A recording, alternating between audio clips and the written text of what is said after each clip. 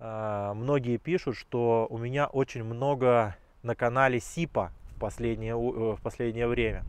А, скажу вам так, что, опять же, те из вас, кто смотрит меня давно, они как бы эту, эту тему знают, э, для чего создан канал и каким образом я снимаю сюжеты. А, канал создан, чтобы снять видео-ответы на вопросы, которые возникают в настоящее время в загородном домостроении. И изначально стояла цель снять сериалы на все технологии строительства домов.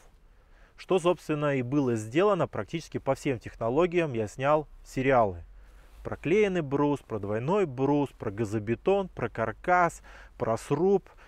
А, в общем, что у нас там еще было-то? Дюрисол. А, до каких-то технологий не добрались. А, обязательно про них снимем сериалы, чтобы, так сказать, мы знали и видели и могли посмотреть в любой момент времени, как строится дом по любой технологии. Я этот блок информационный закрыл, да, а теперь настал блок отдельных частей, отдельных материалов и технологий, из которых состоит загородное домостроение. Это отделки, утеплители, инженерка и так далее. И каждое видео, оно закрывает какую-то тему, и мы ее закрываем, вот формируем свою такую видеоэнциклопедию. И вот э, получилось так, что появилась возможность и доступ к SIP-объектам, плюс много SIP мы использовали на своих объектах. И я эту тему закрывал, потому что она буквально шла в руки. И фактически тема СИПа вдоль и поперек закрыта. Все там понятно. А, будет... Села на морозе видеокамера. Кстати, вы знали, что э, камеры, фотоаппараты, на которые снимаются видео в зимних условиях, многие из них вообще не работают. Э, Sony, например, до минус 10, в минус 10 вообще не включается. Вот эти всеми любимые крутые Sony, там А, А7 S, A7R. А, ну да ладно, это технические особенности съемок видеосюжетов. А, по СИПу будут еще сюжеты, а, буквально, наверное, завтра выйдет сюжет про СИП-крышу на кирпичном доме. Тот кирпичный дом, который мы строили, там мы сделали СИП-крышу.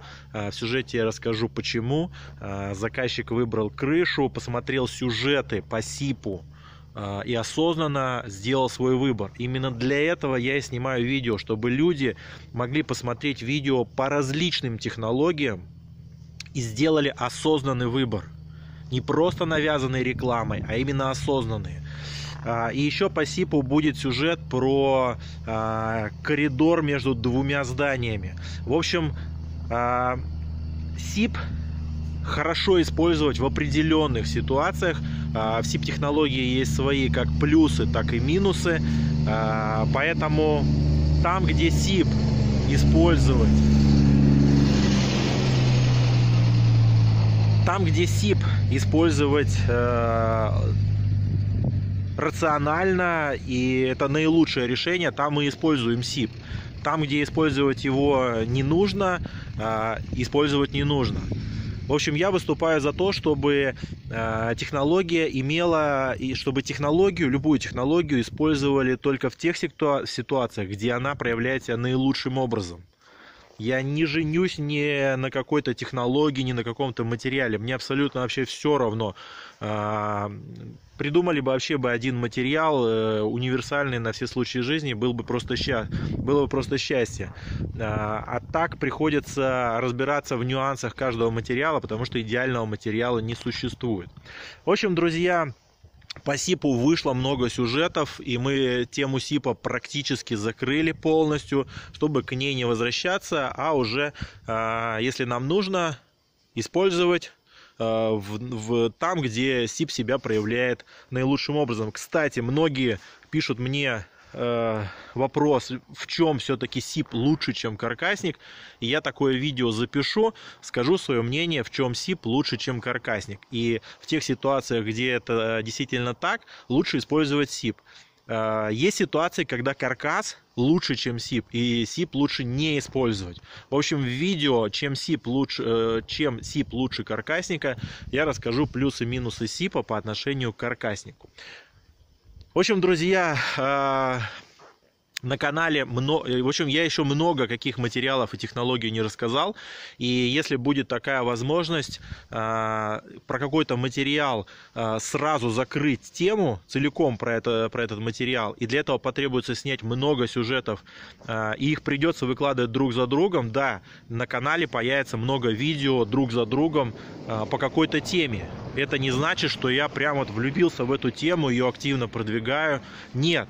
А, в своих видео я не повторяюсь. Моя задача рассказать обо всех технологиях. Ну а потом, наверное, будем просто снимать и показывать, как люди строят дома. А, у нас впереди уже много планов. А, у нас э, есть утеплители, про которые мы вообще ничего не рассказывали. Это полностью базальтовый, базальтовый, базальтовый утеплитель. Это минвата, стекловата.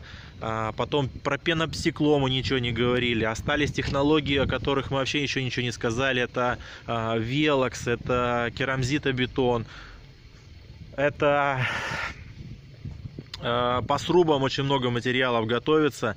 Там есть... Э, то есть я вам рассказал про канадскую рубку, а есть постенбим, а, есть бриллиантовая рубка, в общем, есть различные виды рубок. И впереди нас ждет а, сюжеты об этих всех видах рубок. Уже имеются объекты, точнее, есть клиенты, для которых это будет делаться, рубиться. И я вам это все покажу. В общем, друзья, на канале будут выходить по какой-то технологии, по каким-то материалам, друг за дружкой много видео. А, это не значит, что я прям вот а, активно двигаю эту технологию. Нет, просто есть возможность об этом снимать, а, и я об этом снимаю. Все, друзья, на сегодня это все. Пишите свои вопросы в комментариях. Будьте умными на зло всем бракоделом. И не забудьте кинуть в комментарии информацию по поводу пенополиуретана, потому что сейчас стоит вопрос именно на эту тему. Ну а завтра будет сюжет про СИП-крышу на кирпичном доме. Пока, друзья!